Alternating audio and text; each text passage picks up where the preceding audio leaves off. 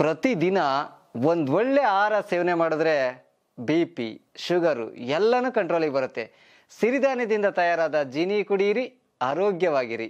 S, ಮುಂದಿನ ವಿಧಾನಸಭಾ ಕ್ಷೇತ್ರ, ಶಿಕಾರಿಪುರ ವಿಧಾನಸಭಾ ಕ್ಷೇತ್ರ. ಯಡಿಯೂರಪ್ಪ ಅವರು ಇಲ್ಲಿ ಹದ್ ಎಂಟರಲ್ಲಿ ಗೆದ್ದಿದ್ರು, ಅದಾದ್ಮೇಲೆ ಹದಿಮೂರಲ್ಲಿ ಗೆದ್ದರು ಮತ್ತೆ ಅವ್ರ ಮಗ ಎಂ ಪಿ ಆದರು ಬಿ ಜೆ ಪಿ ಅಲ್ಲಿ ಇವರು ಎಂ ಪಿ ಆದರು, ಮತ್ತೆ ಮತ್ತೆ ಅವ್ರ ಮಗನಿಗೆ ವಿಜೇಂದ್ರ ರಾಘವೇಂದ್ರ ಮತ್ತೆ ಹದಿಮೂರಲ್ಲಿ ಗೆದ್ದರು ಬಿ ಜೆ ಪಿಯಿಂದ ಎಲ್ಲ ಜಾಯಿನ್ ಆದಮೇಲೆ ಎಲ್ಲ ಕೆ ಜೆ ಪಿ ಬಿಟ್ಟು ಎಲ್ಲ ಬಿ ಜೆ ಪಿಗೆ ಬಂದಮೇಲೆ ಮತ್ತೆಲ್ಲ ಡ್ಯಾಮೇಜ್ ಕಂಟ್ರೋಲ್ ಮಾಡಿಕೊಂಡ್ರು. ಹದಿನೆಂಟರಲ್ಲಿ ಮತ್ತೆ ಯಡಿಯೂರಪ್ಪ ಗೆದ್ದರು ಸುಮಾರು ಮೂವತ್ತೈದು ಸಾವಿರ ಮತಗಳ ಅಂತರದಿಂದ ಯಡಿಯೂರಪ್ಪ ಅವ್ರು ಗೆದ್ದರು ಈಗ ನಾನು ನಿಲ್ಲೋದಿಲ್ಲ ಅಲ್ಲಿ. ನನ್ನ ಮಗ ವಿಜೇಂದ್ರ ನಿಲ್ತಾನೆ ಅಂತ ಈಗಾಗಲೇ ಹೇಳಿಕೆಯನ್ನು ಕೊಟ್ಟಿದ್ದಾರೆ.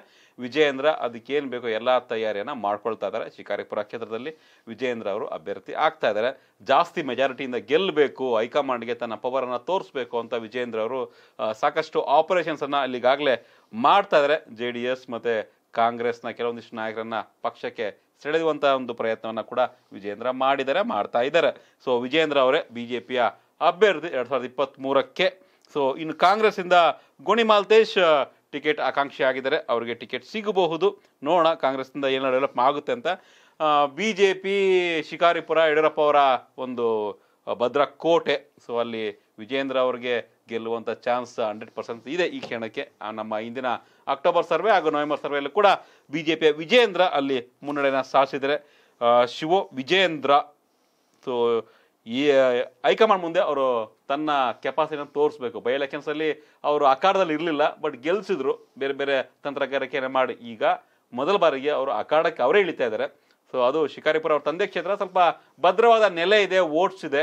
ಸೊ ಗೆದ್ದೆ ಗೆಲ್ತಾರೆ ಅನ್ನೋ ಕಾನ್ಫಿಡೆನ್ಸ್ ಇದೆ. ಬಟ್ ಅವ್ರು ದ್ರಷ್ಟೇ ಸಾಲದು. ತನ್ನ ಸುತ್ತಮುತ್ತಲಿನ ಕ್ಷೇತ್ರನ ಗೆಲ್ಲಿಸ್ಬೇಕು ಇಡೀ ರಾಜ್ಯದಲ್ಲಿ ಒಂದು ರೀತಿ ಹವಾ ಕ್ರಿಯೇಟ್ ಮಾಡಬೇಕು ಆ ಒಂದು ಕೆಪಾಸಿಟಿಯನ್ನು ಇಲ್ಲಿಂದ ಶುರು ಮಾಡಬೇಕು. ಏನನ್ಬೋದು ಅನ್ಬೋದು ವಿಜೇಂದ್ರ ಮತ್ತೆ ಶಿಕಾರಿಪುರ ಕ್ಷೇತ್ರ ಹಾಗೆ ನೋಡಿದ್ರೆ ಮಾಜಿ ಮುಖ್ಯಮಂತ್ರಿಗಳ ಮಕ್ಕಳಲ್ಲಿ ಈ ಎಸ್ ಎಲ್ ಎ ವಿಜಯೇಂದ್ರ ವಿಜಯ ತುಂಬ್ಕೊಂಡಂಗಿದೆ ಅಂದ್ರೆ ಯಾಕೆ ಈ ವಿಷಯ ಹೇಳ್ತಾ ಇದೀನಿ ಅಂದ್ರೆ ಯಡಿಯೂರಪ್ಪ ಅವರು ಇಷ್ಟು ವರ್ಷ ರಾಜಕಾರಣ ಮಾಡಿ ಸಿಎಂ ಆದ್ರು ಅವ್ರ ತವರು ಜಿಲ್ಲೆ ತವರು ಕ್ಷೇತ್ರ ಕೆ ಆರ್ ಪೇಟೆನಲ್ಲಿ ಅವ್ರೇನು ಮಾಡ್ಲಿಕ್ಕೆ ಸಾಧ್ಯ.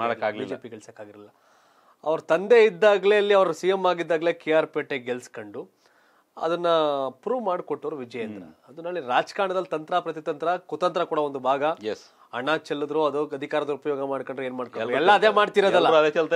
ಎಲ್ಲರೂ ಅದೇ ಮಾಡ್ತಾರೆ ಈಗ. ವಿಜಯೇಂದ್ರಗೆ ಆ ಕೆಪಾಸಿಟಿ ನಾನು ಆಗ್ಲೇ ಹೇಳಿದೆ. ದೇವೇಗೌಡ್ರ ಮಗ ಕುಮಾರಸ್ವಾಮಿ ಅವ್ರದೊಂಥರ ರಾಜಕಾರಣ.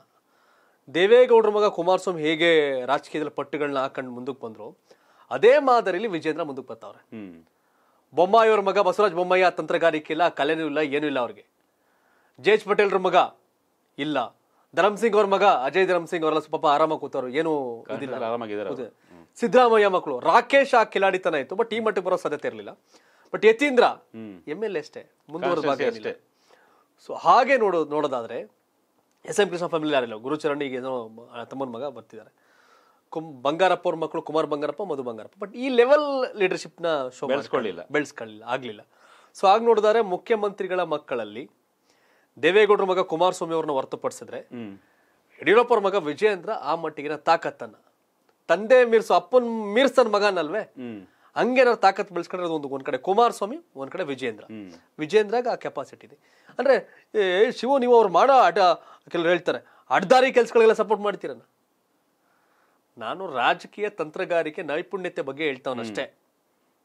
ಬೇರೆ ಬೇರೆ ವ್ಯವಹಾರದ ಬಗ್ಗೆ ಮಾತಾಡ್ತಿಲ್ಲ. ಮಾತಾಡ್ತಾ ಇಲ್ಲ. ನನ್ನ ಕಡೆ ಕುಮಾರಸ್ವಾಮಿ ಅವ್ರ ತಾಕತ್ ಬಗ್ಗೆ ಹೇಳ್ತೀನಿ ವಿಜಯನ್ ಅವ್ರ ತಾಕತ್ ಬಗ್ಗೆ ಹೇಳ್ತೀನಿ ಅಷ್ಟೇ. ಕಂಪೇರ್ ಟು ಅದರ್ಸ್ ಸಿಎಂಗಳ ಮಕ್ಕಳುಗಳನ್ನು ಹೋಲಿಕೆ ಮಾಡಿದ್ರೆ ಇವರು ಅದನ್ನು ಬಳಸ್ಕತ್ತವ್ರೆ ಎಸ್ ಅದು ಹಂಗೆ. ವಿಜೇಂದ್ರ ಅವರು ಶಿಕಾರಿಪುರ ಗೆಲ್ತಾರೆ. ಯಾಕಂದ್ರೆ ಅವರು ಯಾಕಂದ್ರೆ ಒರಣಾಗ ಹೋಗಿ ಒದಾಡಕ್ಕಿಂತ ಶಿಕಾರಿಪುರ ನೆಮ್ಮದಿಯಾಗಿ ಗೆಲ್ಲಿ ಅಂತ ಅವ್ರ ಅಪ್ಪ ಅಲ್ಲಿ ಬಿಟ್ಟು ಕಳಿಸೋರೆ ಹೌದು ನೀವು ವರ್ಣಕ್ಕೆ ಹೋಗಿದ್ರಲ್ಲ? ಏನಂದ್ರೆ ವಿಜೇಂದ್ರ ಅದು ಕೆಲವರು ಕರೀತಾರೆ ಕೆಲವರು ಸಿದ್ದರಾಮಯ್ಯ ಬರಲಿ ಅಲ್ಲಿಗೆ ಅಂತಾರೆ. ದೊಡ್ಡ ಸ್ಟೋರಿ ಅದಕ್ಕೆ ಸಪರೇಟ್ ನ್ಯೂಸ್ ಮಾಡೋಣ. ಮುಂದಕ್ಕೆ ಹೋಗೋಣ ಈಗ. ಎಸ್ ನೆಕ್ಸ್ಟ್ ಮಗು ದಷ್ಟಪುಷ್ಟವಾಗಿ ಆರೋಗ್ಯವಾಗಿ ಬೆಳಿಬೇಕಂದ್ರೆ ತಾಯಿಯ ಎದೆಹಾಲು ಹಾಗೂ ಪೌಷ್ಟಿಕ ಆಹಾರ ಮುಖ್ಯ.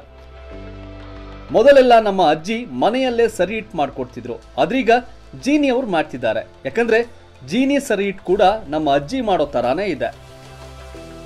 Thank you Jeeni.